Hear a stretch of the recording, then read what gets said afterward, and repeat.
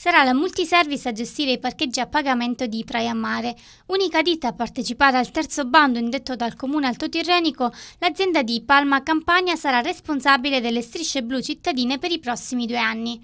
50.500 euro l'offerta presentata al comune con un aumento dell'1% sulla base d'asta. Capitale che sarà necessario per l'installazione della segnaletica orizzontale e verticale dei parchimetri. A carico della cooperativa sociale il funzionamento del dispositivo di vendita tramite il coordinamento con la polizia locale. I ticket avranno un valore massimo di 80 centesimi l'ora e 40 per la mezz'ora di sosta. Inoltre sarà la multiservice a controllare che il nuovo parking system funzioni correttamente e a vigilare contro possibili atti vandalici. Dagli uffici della Polizia Municipale di Praia Mare fanno sapere che la cooperativa è interessata a partire al più presto con la nuova gestione.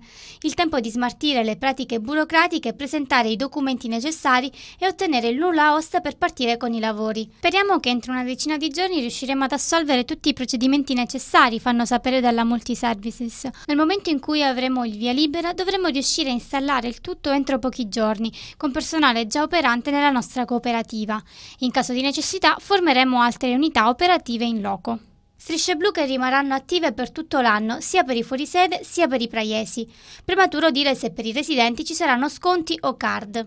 Durante il periodo invernale la fascia oraria in cui sarà attivo il servizio di parcheggio a pagamento inizia alle 8 per terminare a mezzanotte, dalle 8 fino alle 3 del mattino successivo durante la stagione estiva.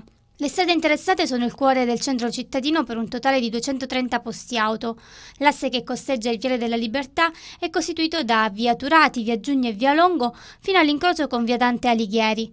Compresi nel bando anche i parcheggi adiacenti Piazza dei Caduti e via della Stazione, con la sola esclusione del piazzale antistante lo scalo ferroviario. Tutte queste zone inoltre dovranno essere totalmente sgombre di auto dalle 7 alle 8 del mattino per consentire la pulizia completa delle strade.